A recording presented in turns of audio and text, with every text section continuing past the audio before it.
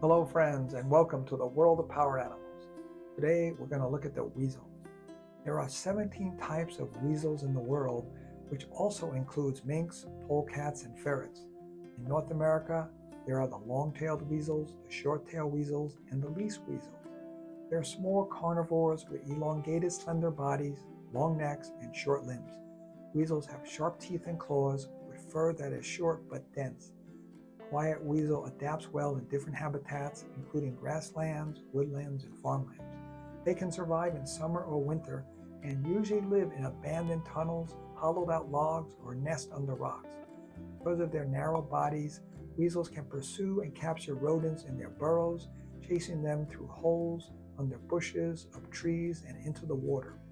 They're brave, bold, and aggressive predators that hunt alone they pursue their goals tenaciously, but always know how to wiggle their way out of difficult situations. The small weasel is fast, smart, and focused. They know how to take advantage of any new opportunity since they're very observant and can blend in to be almost invisible. Weasels have keen senses and are not easily fooled. They're agile, ingenious, and self reliant. They're symbols of vigilance, cunning, and stealth when you need to reevaluate your situation and regain your confidence, call on the spirit of the weasel as an ally. Visit our website for our free power animal reading and to learn what each animal can teach us. Thank you for subscribing and have a great day.